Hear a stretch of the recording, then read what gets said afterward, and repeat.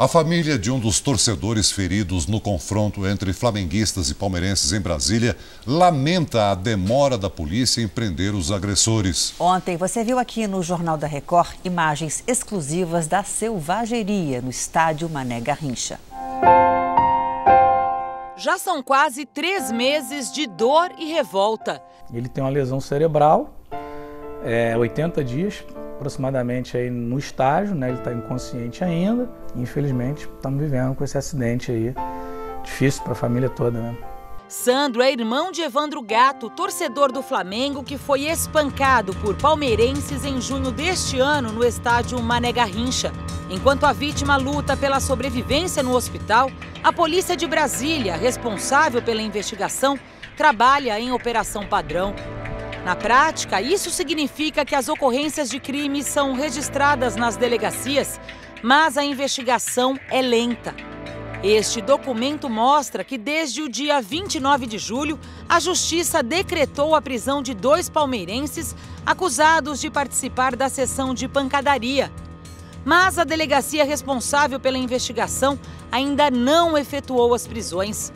Eles e outros torcedores do Palmeiras entraram em confronto com flamenguistas nos corredores que dão acesso às arquibancadas do estádio.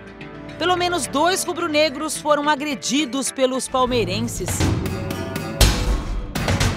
Até agora, são dois os suspeitos identificados nas imagens gravadas pelas câmeras do estádio, reveladas ontem com exclusividade pelo Jornal da Record. Gabriel Augusto Silva e Lucas Alves Leso. No despacho, o juiz argumenta que Lucas teria atingido Evandro com vários socos, enquanto a vítima estava no chão, e que Gabriel teria chutado com violência a cabeça dele. As imagens mostram as agressões.